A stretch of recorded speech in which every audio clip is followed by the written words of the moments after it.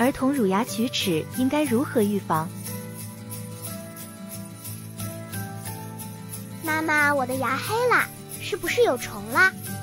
没事的，宝贝，长大了你会换牙的，等你换了牙，自然就好了。家长们是不是也是这样想的呢？乳牙龋齿真的不用管吗？答案当然是要管，且要尽早管。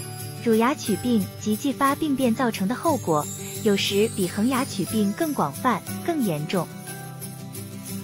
蛀牙，医学上称为龋齿，牙齿发生了龋病就成为龋齿。乳牙龋齿有哪些危害？一、乳牙龋病会严重影响儿童牙齿的发育和正常的咀嚼功能，影响营养摄入。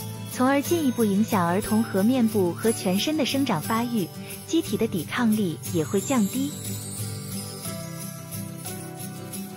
二，乳牙龋齿还会影响恒牙胚的发育，甚至会引起恒牙胚囊肿，导致恒牙不能萌出。三，幼儿期是孩子学习语言的时期，乳牙的崩坏和早逝会影响正确发音，乳牙龋坏会影响美观。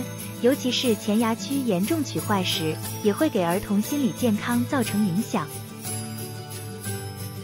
怎么做才能有效预防乳牙龋齿呢？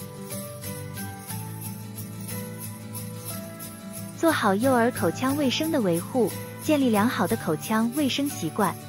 使用牙刷、牙膏、牙线等去除牙上的食物残渣，是预防龋齿最简单有效的方法。进行充分的咀嚼训练，三至六岁儿童不要只吃软烂精细的食物，可以适当吃高纤维素、有韧性的食物。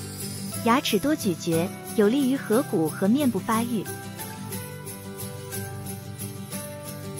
严格控制糖的摄入，精致食品、含糖量高的零食及饮料对牙齿有着巨大的破坏作用。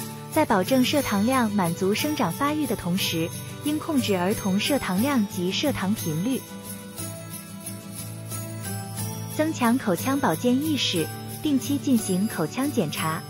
当婴儿萌出第一颗牙时，就应开始口腔健康检查。学龄前儿童常规三至六个月定期进行一次口腔检查，学龄儿童应每六个月检查一次。